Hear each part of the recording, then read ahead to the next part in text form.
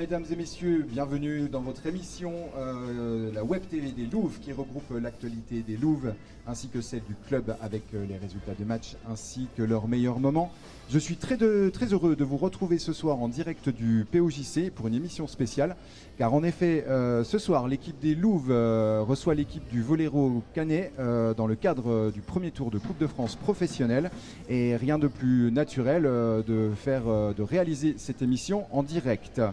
Pendant toute cette émission, vous retrouverez à mes côtés Monsieur Marco Bialani qui va co-animer l'émission avec moi. Bonsoir euh, Marco. Bonsoir Sébastien. Et donc euh, toute l'émission, Marco va graviter autour de cet événement avec comme d'habitude des invités. Oui, tout à fait. On, aura comme premier invité euh, ce soir Carole Villemain qui représente la partenaire du match l'auto-école Carole. Bonsoir Carole. Bonsoir, Bonsoir Carole.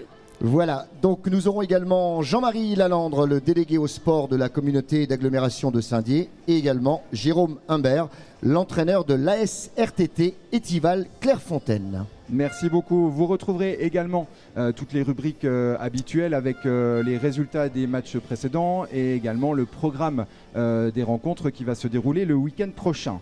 mais avant toute chose, je vous propose de vous passer à notre premier invité, je dirais même un incontournable invité de la Web TV des Louves. Accueillons s'il vous plaît Monsieur Pierre Mercier. Bonsoir Pierre. Bonsoir à tous, bonsoir Carole. Bonsoir. Pierre, on ne te présente plus, euh, président directeur général euh, de la société Mercier David, président du club de volley euh, Saint-Dié-des-Vosges, également vice-président de la Fédération française de volley. ce soir, tu es, en, tu es là en qualité de quoi? Ah, Tout d'abord, ce soir, sur des matchs comme ça, en qualité de président du Saint-Dié-des-Vosges Volleyball, c'est ce, qui, c'est ce qui me motive ce soir et c'est ce qui motive un petit peu le fait que l'émission soit tournée en direct. On a un super match qui nous attend. Alors justement, Pierre, c'est un souhait de longue date d'organiser ce match en particulier, ce Louvre-le-Canet Oh ben un souhait de longue date, on peut pas dire ça. Le fait qu'on reçoive le Canet ce soir, c'est juste merveilleux, mais c'est quand même le fruit du tirage au sort. On aurait pu euh, accueillir euh, Évreux ou Saint-Raphaël en Liga F, puisqu'on est le dernier club d'élite euh, encore en lice. si on avait rencontré Évreux, Saint-Raphaël, ça aurait été déjà une belle affiche. Rencontrer le Canet qui vient à peine de sortir de la Coupe d'Europe, c'est juste magique. C'est quoi les prétentions ce soir dans un tel match? Ah, les prétentions ce soir, c'est de faire plaisir à Carole. c'est euh, voilà, c'est de faire plaisir à notre public, c'est de faire plaisir à nos partenaires. Franchement, on ne peut pas avoir des prétentions euh, sportives euh, au-delà de, nos espérances. Il faut rester cohérent. Le Canet, c'est quand même juste le numéro un français actuel. Donc on va, on va faire de notre mieux et on va surtout faire plaisir à notre public. Alors ce soir, c'est Coupe de France. Ça, c'est une certitude. On a les playoffs. On va y venir justement. Les playoffs, c'est direction la Liga, c'est quelque chose qui, te plaît, on le voit, ça brille dans tes yeux ce soir. Alors le parquet a été repeint pendant les fêtes de Noël. C'est peut-être une façon de forcer le destin, non? Ouais, une manière de forcer le destin. C'est un beau cadeau que nous a fait encore la municipalité de Saint-Dié-des-Vosges. C'est magique. Euh, avec la qualité des retransmissions de nos matchs, je pense que le, terrain en bicolore comme ça euh, nous amène encore un peu plus de qualité. Moi, c'est vraiment ce que je recherche. Avant de rechercher la montée à tout prix en Liga, je veux surtout qu'on travaille comme il faut. La montée en Liga, ce sera une conséquence. Sébastien. Merci beaucoup Pierre, euh, on va te retrouver euh, tout au long de, l'émission. Euh, nous avons plein d'invités sur ce plateau, nous nous retrouvons tout de suite après la virgule avec la marraine du match.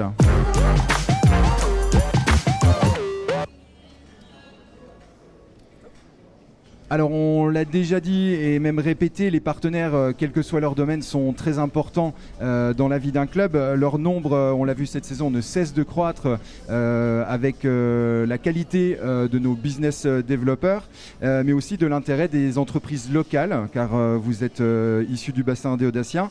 et on vous remercie de vous être proposé pour parrainer ce match. Aujourd'hui, vous êtes actuellement présidente des auto-écoles Carole. À fait. Alors, euh, ma chère Carole, alors vous allez pouvoir vous présenter dans un premier temps Oui, donc euh, Carole, Carole Villemain, comme vous l'avez dit. Euh, donc présidente de l'auto-école Carole. Donc j'ai une agence à Saint-Dié, en Déodacie même, et une autre dans, on va dire, dans un milieu un peu plus rural qui est Senon. Alors, vous allez peut-être nous parler un peu de cette auto-école Carole? Alors l'auto-école, donc ça fait un certain nombre d'années que j'y travaille avec euh, pas mal d'investissements personnels. Donc elle, a, elle, a, été créée en fait en 87, 1987. Moi-même à l'époque, quand j'ai commencé donc ce métier d'enseignante de la conduite, c'était dans les années 2000, donc j'étais salariée de l'entreprise. Et puis euh, j'ai acheté, donc j'ai racheté effectivement l'auto-école euh, qui avait une autre dénomination auparavant. Je l'ai acheté donc il y a maintenant un peu plus de 11 ans, exactement. On peut, on peut redonner les adresses de ces auto-écoles? Alors, Déodacienne, donc 29 rue Stanislas à Saint-Dié, donc euh, pas très loin de l'hôtel de ville, la mairie. Et à Senon, c'est donc au numéro 16 place Clémenceau. On peut revenir sur la date de création parce que j'ai pas bien entendu. Date de création 1987, excusez-moi. 1987, ça commence à parler. Comme Mercier David. Oui. Comme Mercier David. Comme Mercier David. 1987, ah. date de naissance. Eh ben Alors, l'évolution à travers le temps, c'est quoi? Alors l'évolution, pas mal de choses, puisque dans notre profession, il y a aussi beaucoup, beaucoup, beaucoup de réformes. Et euh, pour être à jour, ben, il faut déjà d'une part s'informer et aussi proposer, euh, je dirais, quelque chose d'un petit peu différent qu'une auto-école, euh, on va dire, classique, d'accord qui effectivement dispense des cours de conduite, cours de code, etc., basiques, je dirais, euh, mais malgré tout qui, voilà, qui, travaille bien et euh, qui s'investit aussi. Et euh, pour ma part, l'auto-école, effectivement, j'ai voulu, en gardant cet enseignement totalement classique, développer mes activités, notamment... Alors on appelle ça des services. Hein, on peut appeler ça des services. Voilà. Notamment en restant dans le domaine auto-école, d'une part l'enseignement, la formation initiale au permis de conduire, donc que ce soit voiture, que ce soit moto, que ce soit le scooter, la remorque, etc. Et aussi d'un autre côté, donc il y a une dizaine d'années, j'ai développé aussi beaucoup de formations en entreprise. Entreprise, administration, donc euh, vraiment spécialisée dans le domaine du risque routier. Donc euh, tout ce qui est conduite éco, euh, conduite rationnelle. C'est complet. C'est vraiment complet hein, en termes d'auto-école. Hein. Voilà, j'essaie, tout au moins. Tout au ah, moins. Je voulais voir, excuse-moi Marco, euh, la liste des permis que vous pouvez euh, vous dispenser la formation pour le permis A, permis B, lesquels On va dire permis voiture, le permis B, d'accord Le permis A, moto, le AM qui est donc le scooter, ce qu'on appelait auparavant le BSR, le B96, donc la remorque, mais la petite remorque, le BE, la grosse remorque, on va dire. Et ça s'arrête là. Alors, on va peut-être poser la question. on va, poser la, question. Sur les permis, non. alors, permis, euh, tu, es, tu es en possession de quel permis? Moi, je suis en possession de, pas mal de permis, puisque j'ai eu la chance d'en passer. Euh, j'étais dans le matériel à l'armée. Et donc, j'ai passé pas mal de permis. Mais alors, euh, les lettres qu'ils ont, j'en sais rien. Et, je... et suis pas à jour dans mes visites médicales. Donc, le poids lourd, je crois que j'ai plus le droit depuis un bon moment. Voilà, vous savez tout. On sait que le président, aujourd'hui, il ne peut plus conduire le poids lourd, mais on verra ça un peu plus tard hors antenne. En tout cas, Carole, les liens qui peuvent vous définir entre vous et le volleyball alors, euh, en fait, j'étais très sportive à l'époque, il y a quelques années, je dirais. Euh, je le suis encore un petit peu, mais beaucoup moins. Donc euh, je venais moi-même m'entraîner ici dans cette salle, mais ça n'avait rien à voir avec le volet. Désolé. C'était en fait euh, les arts martiaux. En fait, j'ai pratiqué du Nippokempo pendant une bonne partie de ma jeunesse. Et je dirais par rapport à l'équipe de volet, j'ai été très séduite euh, au premier match, je tiens à le dire, j'en ai déjà d'ailleurs parlé avec euh, Philippe. Euh, et puis je trouve que voilà, c'est une très belle équipe, elle est dynamique. Dans mon auto-école, si vous préférez, je dis toujours à mes clients, on est jeune et dynamique. Et je dirais, je définirais comme cela l'équipe de volley de Saint-Dié. Et en plus, c'est ma couleur. D'accord. Depuis combien de temps vous êtes partenaire? Alors écoutez, ça fait quelques mois maintenant. Euh, on peut dire euh, que j'ai vu ça, il me semble, vers novembre-décembre. Mmh. Euh, donc c'est vraiment récent. Hein. C'est quoi, quoi, Carole, la motivation, justement? Je dirais que je peux me permettre de dire les filles, les volleyeuses, je les trouve tellement dynamiques, avec des fortes personnalités.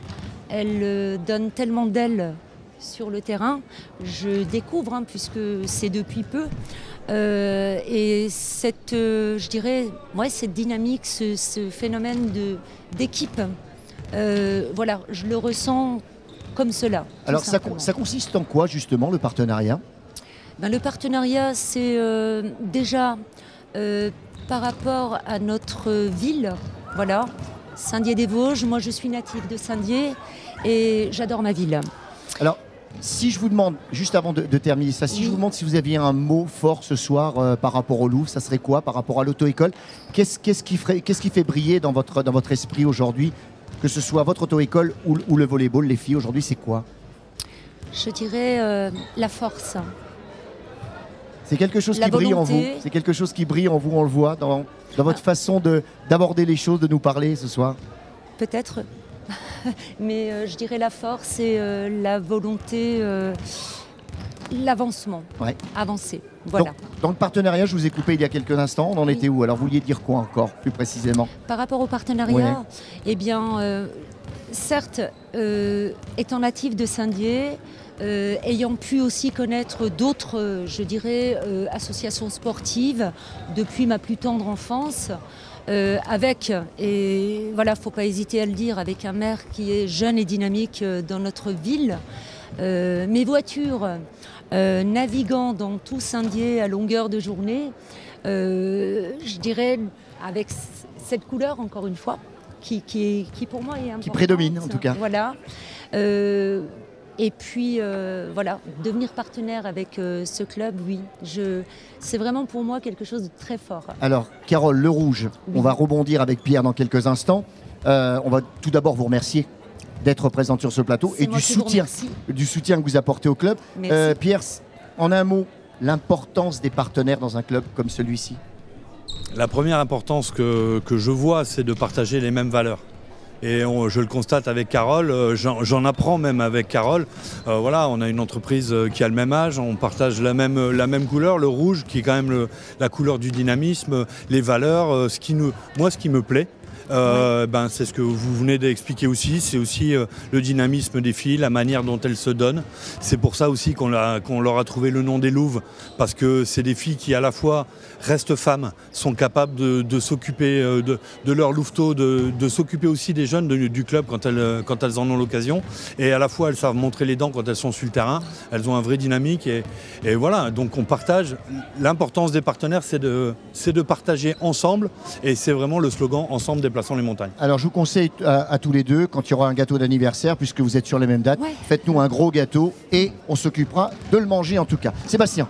Merci beaucoup. Euh, Madame Villemain d'être venue. Merci à euh, Pour euh, clôturer cette première partie, un petit rappel de base, et, ce, et Madame Villemain ne dira pas le contraire, avec la réouverture des buvettes, je vous rappelle que celui qui conduit est celui qui ne boit pas. Voilà. À événement exceptionnel, on continue avec euh, nos invités exceptionnels. Euh, ce soir, nous allons énormément, énormément pardon, parler volet, mais euh, nous allons également, également parler sport en général. Nous avons le plaisir de recevoir maintenant Jean-Marie Lalande, vice-président de la communauté d'agglomération euh, de Saint-Dié-des-Vosges et délégué au sport. Et il est euh, à ses côtés, et à ses côtés euh, Jérôme Imbert, entraîneur de l'ASR TT Etival Clairefontaine. Bonsoir messieurs. Messieurs, soyez les bienvenus en tout cas. Bienvenue. Merci de votre invitation et de votre accueil. C'est nous qui vous remercions. Bonsoir ou plutôt rebonsoir. Rebonsoir Pierre. Merci d'être là. Alors Sébastien, si tu le veux bien, on va commencer avec euh, notre ami Jean-Marie Lalandre. Alors Jean-Marie Lalandre, hmm, quel est votre rôle euh, dans ce terme délégué au sport de la communauté d'agglomération? Alors euh, le président David Valence a souhaité que lors de ce mandat, le sport monte en puissance dans la communauté d'agglomération. La communauté d'agglomération, très rapidement, c'est 77 communes et plus de 80 000 habitants. Donc pour ce faire, nous avons créé un vice-président, enfin un poste, parce que j'étais créé avant la Commune d'Aglo, vu mon âge. Nous avons créé un poste de vice-président et je suis à la tête d'une équipe d'élus, tous volontaires, 14, pour faire monter le sport euh, en puissance. Alors, mon rôle à moi, c'est d'être un peu un chef d'orchestre. Cela dit, les élus, je vais peut-être en décevoir certaines et certains, ne savent pas tout et ne veulent pas tout savoir. Et nous voulons nous appuyer sur les présidents de clubs, sur les présidents des OMS et sur également la sensibilité des différents adjoints au sport, parce que d'une commune à l'autre, on n'a pas la même vision de l'intérêt sportif. Alors, euh, si je vous demande tout simplement l'importance du sport sur le bassin des Audaciens et en particulier dans cette commune d'agglomération ben, Deux chiffres très rapidement. Hein. 80 000 habitants environ, 10 000 licenciés. Alors certains ont des doubles licences. Hein. Mhm. Et puis surtout 230 associations sportives. Je pense que même entre elles, elles ne savent pas qu'elles sont si nombreuses. Quasiment tous les sports représentés, y compris le baseball. Vous voyez, donc euh, les arcs, les jeux, les sports de ballon, les sports de lutte. Et euh, une activité auquel on ne passe pas forcément à titre sportif, la danse. Mais croyez-moi que lorsque vous allez voir certaines euh, séances de danse, c'est très très sportif. Donc 230 associations, 10 000 personnes qui la pratiquent, de tous âges, à tout niveau. Alors vous êtes comblé en tout cas, de ce côté-là Je suis comblé. D'accord. Alors l'impact de la présence de deux équipes, ça c'est important, de deux équipes locales en play-off, dans leurs disciplines respectives, à savoir, puisqu'on l'a avec nous, alors le volet avec le président et nous-mêmes ici, et le tennis de table. C'est extrêmement important puisque ça met un peu le focus, même beaucoup le focus sur notre région. Alors d'aucuns disent oui mais le sport, euh, on met beaucoup d'argent, moi je trouve qu'on n'en met pas assez. Parce que si vous voulez, ce que je regarde bien lorsque j'examine les budgets, j'en ai parlé longuement notamment avec Pierre, c'est quelle est la part d'autofinancement du club. En fait, c'est le vieil adage et toi le ciel t'aidera. Non pas que je me prenne pour Dieu, hein, mais pour le ciel. Donc c'est très très important. Et vous me permettrez d'ajouter, je sais que ça ne, fâchera ni Jérôme euh, ni Pierre, mais également le tennis, de, le tennis à Saint-Dié, qui est première division nationale, plus haut niveau, et à un degré peut-être moins dans la hiérarchie, le club de football féminin de Saint-Dié, qui a obtenu deux fois la Belle Or, seul club sur dix départements du Grand Est, amateur à l'avoir obtenu. Alors, avant de rebondir sur Pierre, je voudrais juste te poser une dernière question. Euh, c'est quoi la réussite? On est dans une ville comme Saint-Dié, on a un bassin d'agglomération qui est important.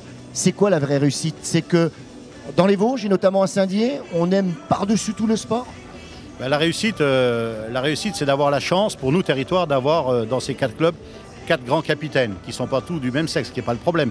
Je veux dire par là, c'est que c'est bien à la base les clubs qui font qu'elle réussit. Ce n'est pas les collectivités. Nous, nous avons un rôle d'accompagnement. Il n'est pas négligeable. Mais ce que nous trouvons vraiment remarquable, c'est que les quatre dirigeants ont su s'entourer d'une équipe. Vous pouvez être extrêmement brillant, extrêmement brillant. Mais à quoi sert un capitaine s'il n'a pas d'équipage? Et ce qui nous plaît, c'est qu'ils ont su fédérer. Et aussi, ça c'est le rôle des élus, nous sommes dans le temps long. Nous n'avons pas besoin de quelqu'un qui fait un effet bœuf, si vous pardonnez la familiarité du propos, et puis qui disparaisse. Eux, ils sont dans la construction. Voilà, si j'ai bien répondu à votre Tout à fait. ce qui nous intéresse Tout à, fait. à la communauté. Je voudrais juste, Pierre, rebondisse quelques secondes par rapport à ce qui est dit euh, par rapport à cela.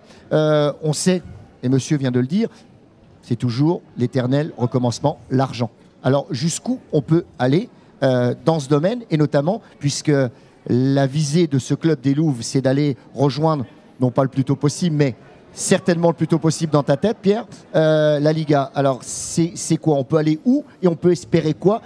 Dans un bassin comme celui-ci, comme vient d'expliquer monsieur Alors, dans un bassin comme celui-ci, on peut tout espérer. C'est comme ça qu'on a créé le projet au départ. Et c'est comme ça que, Jérôme, même Jérôme, quand on parle de, notre démarrage, on y a cru au départ la première fois qu'on a dit on va organiser euh, la venue de l'équipe de France à Saint-Dié-des-Vosges et qu'on va être site d'accueil de l'équipe de France, euh, les gens m'ont regardé comme un fou quand on a dit on va faire une compétition ici, euh, Coupe d'Europe, à Saint-Dié-des-Vosges au POJC en direct sur Eurosport. On m'a dit t'es un fou. quand on a décidé de monter ce projet avec les filles, c'était pour ça, pour leur dire non, je suis pas un fou. Je pense qu'à Saint-Dié-des-Vosges, il faut arrêter le pessimisme ambiant. Il faut se dire que quand on veut, on peut. Et Jean-Marie l'a dit, les élus ne savent pas tout, ils s'appuient sur les présidents. Les présidents ne sont pas seuls non plus, ils s'appuient sur les élus. Et je pense que bah, l'osmose, elle marche super bien à Saint-Dié. Je suis très content de ce que je fais avec la municipalité. Je suis très content de ce qu'on fait avec l'agglomération de la Déodacie pour étendre encore un peu plus le territoire. Je suis super content d'accueillir euh, Jérôme, qui est un ami de longue date euh, ce soir. J'ai une petite pensée effectivement pour Anne Vesrock au, au tennis de Saint-Dié, la section féminine du football qu'on a invité à venir ici. Enfin voilà, on veut partager, on ne veut pas faire un truc, on ne veut pas être tout seul en haut de notre sommet, on veut partager, on veut monter avec tout le monde et je suis super heureux d'être euh, avec vous tous. Merci beaucoup Pierre. Euh, on l'a évoqué tout à l'heure, on a parlé des deux équipes euh, actuellement qualifiées pour les playoffs de leur compétition. On va se tourner maintenant vers Jérôme Imbert, coach de la, SRTT d'Etival, manufacture de joueuses de talent. Jérôme Oui, oui. C'est vrai, que, vrai que ça fait quelques années maintenant que on a la chance d'avoir des, joueuses, alors certes euh, aujourd'hui les seniors, mais euh, il y a quelques années plus tôt, euh, toute une formation aussi de jeunes là, qui ont performé sur le niveau national, voire le championnat d'Europe jeune. Donc c'est une histoire qui, dure depuis maintenant une bonne quinzaine d'années. Jérôme, ça fait quoi de voir ces playoffs?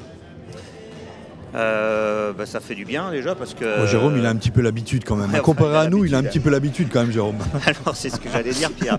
on a l'habitude, mais l'année dernière, à cette heure-là, euh, on était. Voilà, il faut savoir, un éternel recommencement, c'est que quelques petits aléas par-ci par-là. Euh, et bon, une chose et d'autre, on joue très vite le maintien aussi. L'an dernier, on était très très vite dans une situation très, très délicate à ce, à ce moment-là. Mais c'est vrai que cette année, on a très très bien débuté.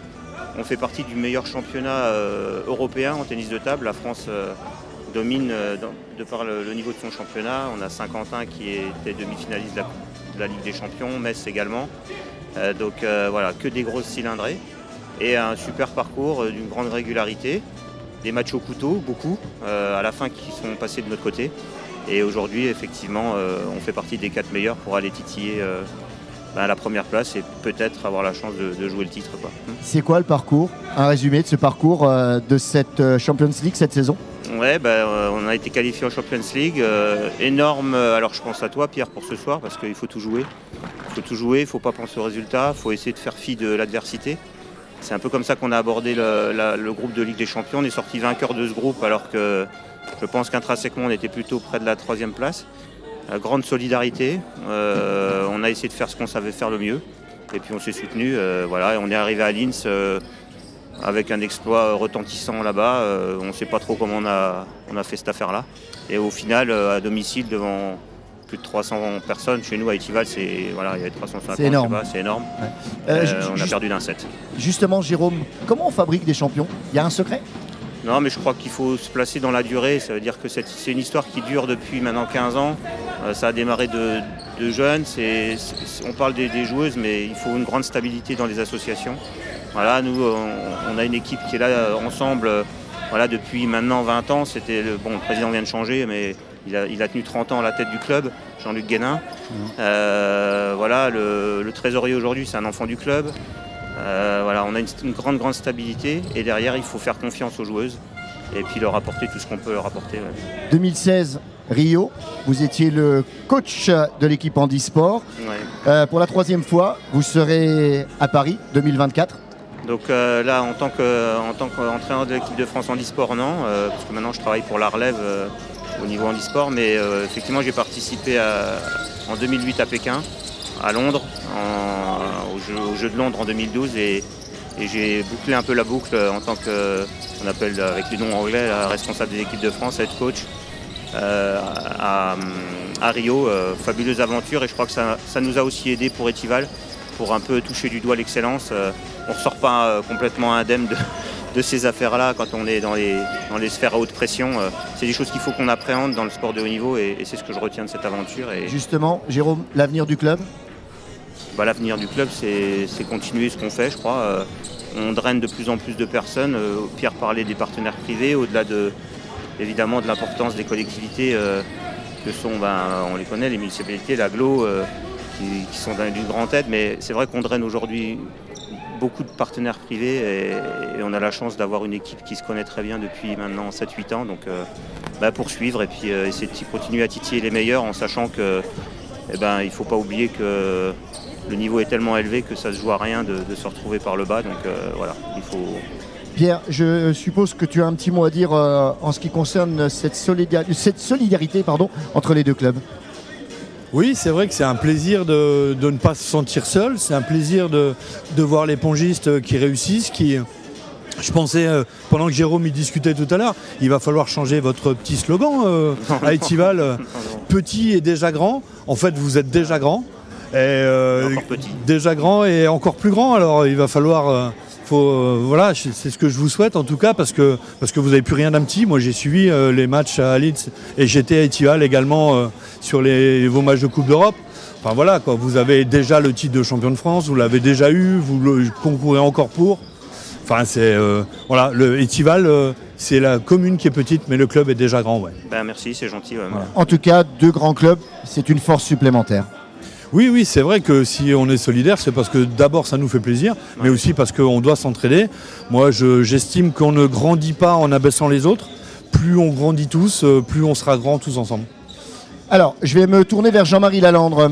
Ce rayonnement du sport féminin est-il un but euh, assumé dans cette communauté d'agglomération? Oui, oui, tout à fait, parce que en fait, le sport, dans sa globalité, quel que soit le, sexe des pratiquants, est important. Mais en ce qui concerne le sport féminin, il est encore plus important parce que c'est un moyen de se réaliser humainement. Et quelquefois, lorsqu'il y a quelquefois des complexes un peu trop d'infériorité, ça permet de montrer que les filles sont tout à fait aussi capables, voire même plus, de réaliser des exploits. Donc c'est une volonté, un objectif assumé par la collectivité d'agglomération, ce qui ne veut pas dire qu'on mésestime l'autre partie euh, des sportifs. Mais oui, c'est un but entièrement assumé et nous mettons en œuvre les moyens nécessaires. Merci beaucoup messieurs pour votre intervention en direct ce soir. Euh, merci à vous encore une fois euh, par, vos fonctions respectives au développement du sport et surtout n'arrêtez pas. Euh, petit message particulier euh, pour nos téléspectateurs. L'ASRTT joue les demi-finales euh, contre Saint-Pierre-les-Elbeuf le 15 avril prochain à Étival. N'hésitez pas à aller les encourager. Et maintenant, on passe à l'actu.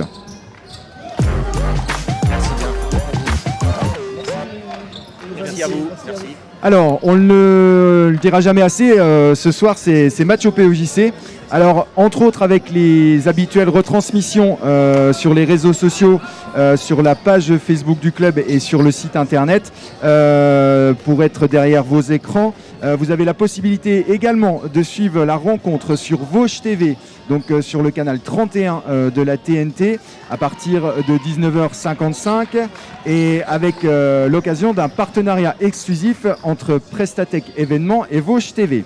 Euh, toujours euh, dans les actualités pour le match de ce soir. exceptionnellement, le ramassage des balles se fera par les jeunes élèves de la section sportive lycée euh, issus du lycée Jules Ferry et Georges Beaumont de Saint-Dié-des-Vosges.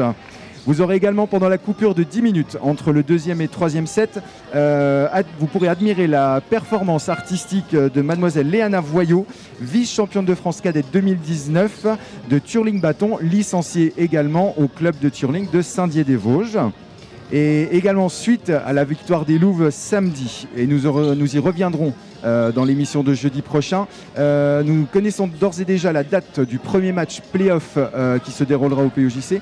Il s'agira du samedi 5 mars avec la réception d'une équipe qu'on connaît bien, car on recevra l'équipe d'Arnes.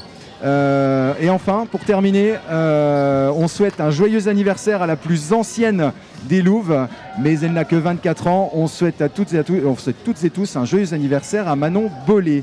Euh, c'est tout pour les infos de la semaine. Maintenant, on passe au programme du week-end prochain.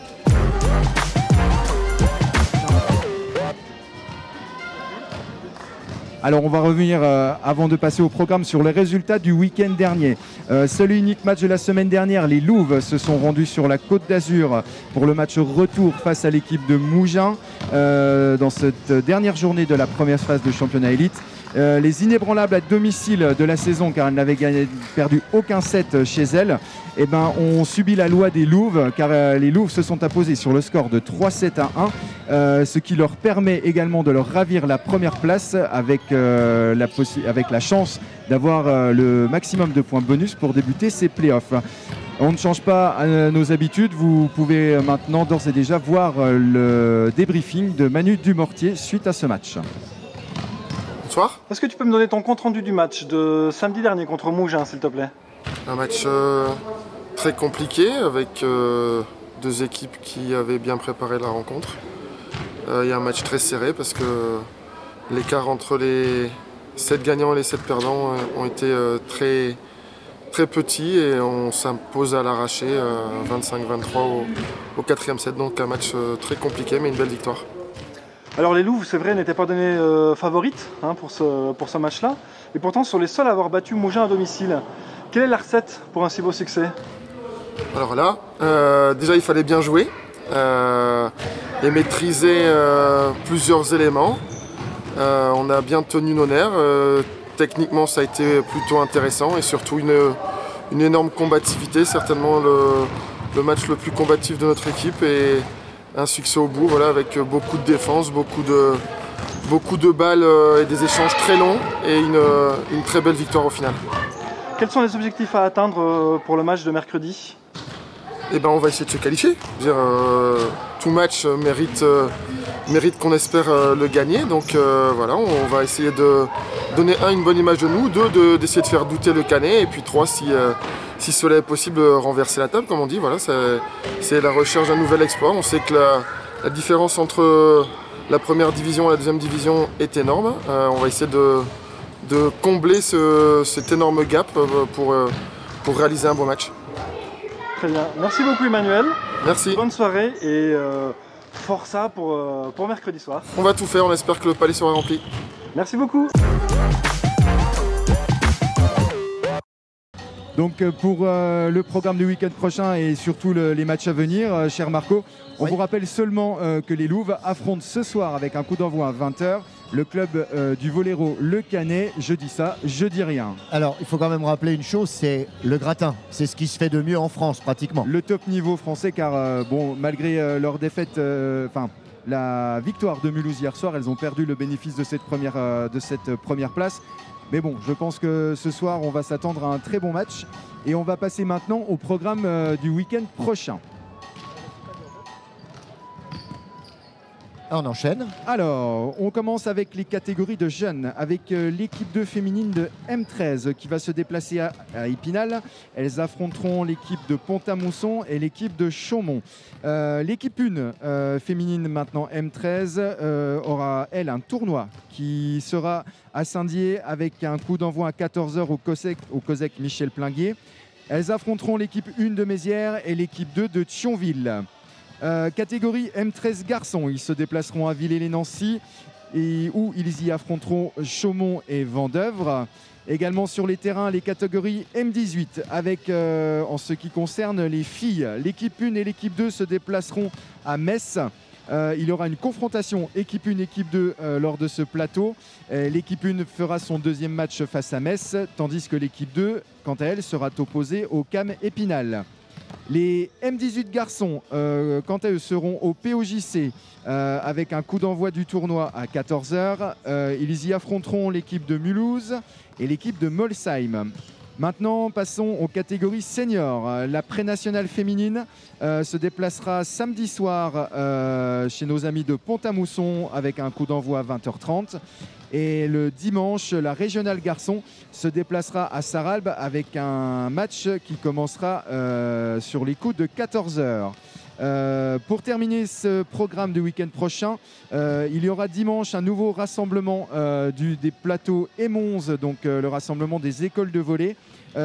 toute la relève vosgienne se déplacera à Gérardmer avec à partir de 10h un entraînement au commun et l'après-midi sera placé sous le signe des tournois euh, adaptés. Tout ça se déroule à la Halle des Sports de Gérardmer. C'est tout bon pour le programme à venir. Euh, ce numéro 22, euh, ce numéro spécial de la Web TV des Louvres est maintenant terminé. merci encore à tous nos invités, Carole Villemain, Jean-Marie Lalondre, Jérôme Imbert et bien évidemment Pierre Mercier d'être venus sur ce plateau. Un merci particulier à Prestatec événement pour la mise en place de ce dispositif. Euh, pour suivre toute l'actualité des Louves et du club, euh, je vous invite à vous abonner à tous les réseaux sociaux dont l'adresse euh, s'affichera en bas de votre écran. N'oubliez pas de vous abonner sur notre chaîne YouTube et la petite clochette pour recevoir nos notifications en direct. Merci beaucoup de nous avoir à nouveau suivis. Merci beaucoup à toi Marco de m'avoir accompagné sur ce numéro spécial. Ça a été un plaisir, merci à toi de m'avoir accueilli sur ce plateau. Et puis je rappelle quand même qu'on va te retrouver tout à l'heure à partir de 19h50 pour commenter le match en compagnie de Nicolas Bredard de Vosges TV. Merci à toi. Nous te retrouvons également Marco car euh, tu vas faire euh, dans quoi ce que tu excelles c'est-à-dire chauffer la salle venue en nombre. On voit le public et les tribunes qui se remplissent au fur et à mesure.